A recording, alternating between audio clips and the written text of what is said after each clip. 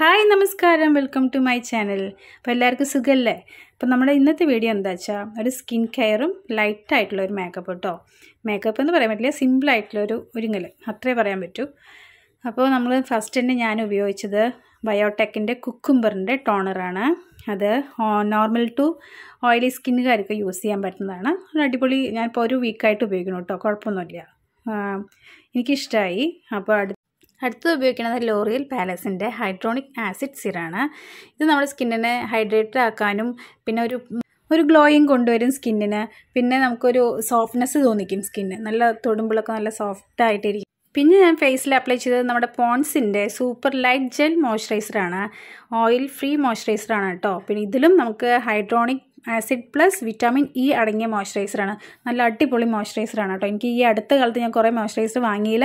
എനിക്ക് ഏറ്റവും ഇഷ്ടമായ ഒരു മോയ്സ്ചറൈസറാണ് ജെൽ ടൈപ്പാണ്. നമ്മൾ ഫേസിൽ അപ്ലൈ ചെയ്തിട്ടുണ്ടെങ്കിൽ നമുക്ക് തോന്നില്ല. അത് വലിയൊരു ക്രീം നമ്മുടെ ഫേസിൽ അപ്ലൈ ചെയ്തിട്ടുണ്ടെന്നും അത്രയും ലൈറ്റ് ആയിട്ടുള്ള ഒരു മോയ്സ്ചറൈസറാണ്. എനിക്ക് ഭയങ്കര ഇഷ്ടമായി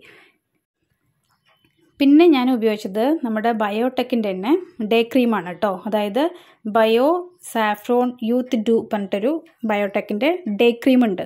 അതാണ് ഞാൻ പിന്നെ ഉപയോഗിച്ചത്. ഒന്ന് ജസ്റ്റ് ഒന്ന് കുറച്ചെടുത്താൽ മതി കേട്ടോ എന്താ ഭയങ്കര ഓയിലിയാണ് എനിക്ക് ഫീൽ ചെയ്തത്. അത് കാരണം ഞാൻ കുറച്ചെടുത്തുള്ളൂ നമുക്ക് തേച്ച് കഴിഞ്ഞ് കഴിഞ്ഞാൽ കുറച്ച് കഴിഞ്ഞ് കഴിഞ്ഞാൽ ഇത്തിരി ഓയിലി ആവണ്ട കേട്ടോ ഇത് ശരിക്കും നമുക്ക് നമ്മുടെ ഡ്രൈ സ്കിന്നുകൾക്കൊക്കെ തീർച്ചയായിട്ടും ഉപയോഗിക്കാൻ പറ്റുന്ന ഒരു മോയ്സ്ചറൈസറാണ് നല്ലൊരു മോയ്സ്ചറൈസറാണ്. എനിക്ക് പറഞ്ഞു കഴിഞ്ഞാൽ എന്റെ ഡ്രൈ സ്കിന്നല്ല. അതുകൊണ്ട് എനിക്കിത് മാച്ചായി തോന്നിയില്ല എന്റെ സ്കിന്നിന്. ഡ്രൈ സ്കിന്നുകാർക്ക് നല്ല മാച്ചാണ് ഈ മോയ്സ്ചറൈസർ കേട്ടോ. തീർച്ചയായിട്ടും ഉപയോഗിക്കാം അവർക്ക്.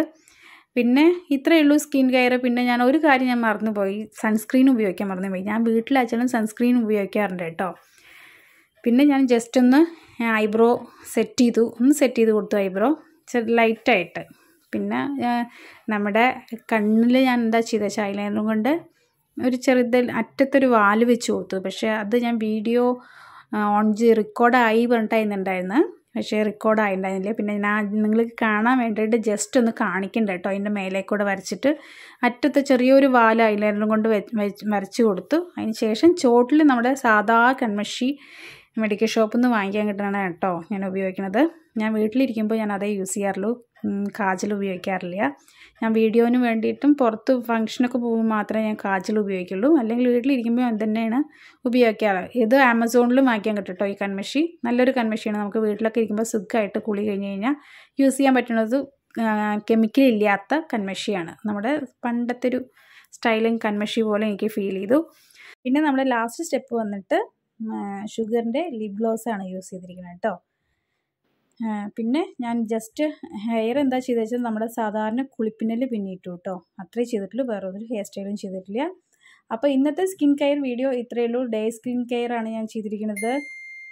അപ്പോൾ എല്ലാവർക്കും വീഡിയോ ഇഷ്ടമായി കഴിഞ്ഞാൽ ലൈക്ക് ചെയ്യുക കമന്റ് ചെയ്യുക സബ്സ്ക്രൈബ് ചെയ്യുക അപ്പോൾ അടുത്ത വീഡിയോ ആയിട്ട് കാണുന്നവരേക്കും എല്ലാവർക്കും ബൈ ടേക്ക് കെയർ